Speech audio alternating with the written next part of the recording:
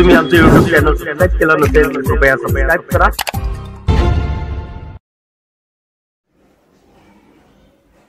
रथावर कुणीही गर्दी करू नये प्रसाद महाराज. आंबाळ येथील संत सकाराम महाराज संस्थांचा रथ उत्सव दुसऱ्या वर्षी रद्द करण्यात आला. यामुळे रविवारी रोजी एकादशीला जागेवर रथाचे पूजन होणार आहे. सर्व भक्तांनी घरी राहून संत सकाराम महाराज यांचे नामस्मरण करावे आणि उत्सवाचा आनंद घ्यावा असे आवाहन संत सकाराम महाराज विठ्ठल रुक्मयी संस्थांचे संस- संस्थांतर्फे प्रसाद महाराज यांनी बीटीव्हीशी बोलताना सांगितले. गुजरातप्रमाणे महाराष्ट्राला मदत हवी नामदार गुरवराव पाटील यांची केंद्रावर टीका.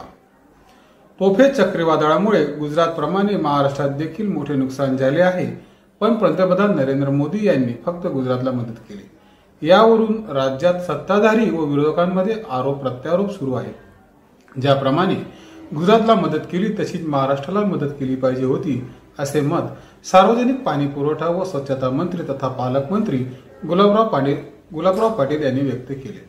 गुलाबराव पाटील शनिवारी दुपारी जळगाव अजिंठा शासकीय विश्रामगृहात कार्यकर कार्यकर्त्यांच्या भेटीगाठीसाठी आले होते.